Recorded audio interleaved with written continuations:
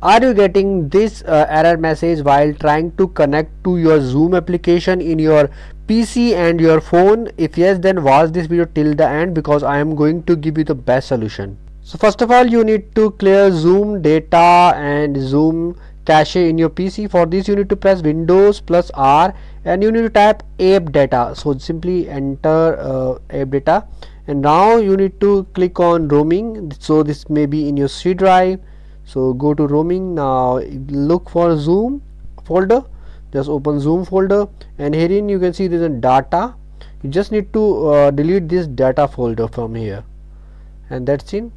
This data folder is deleted now so after deleting this data folder you can also uh, try to open zoom and see whether it is working or not.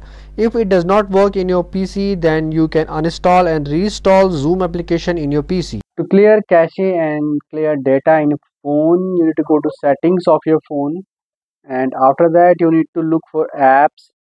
So go to apps. This is an apps. So you need to go to storage. First of all you need to find the specific apps. You can search zoom and just look for the zoom and uh, you need to scroll down and look for storage option. This is the storage.